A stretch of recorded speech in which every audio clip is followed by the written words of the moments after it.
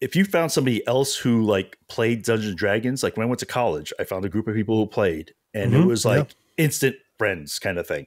It's like a secret play- club. Like, oh, you know yeah. all the rules and you know how this Yep. works and you understand how to suspend your disbelief. Yeah. it felt to me like one of the first examples or at least earliest examples of a cooperative game most games that i knew of when i was a kid was me against my parents or other friends who were playing Yeah. the monopoly board game or risk or connect 4 or whatever it was Yep. always me versus an- the other people in the game. Dungeons and dragons was the first one where we were all a team. Yeah, and the social aspect of it i thought later in life not then what a great tool for people who were the most socially awkward people Mhm. in the real world yeah, to allow them to have that safe fun space for each other Yeah, to good point. enjoy each other's company throw fritos at each other whatever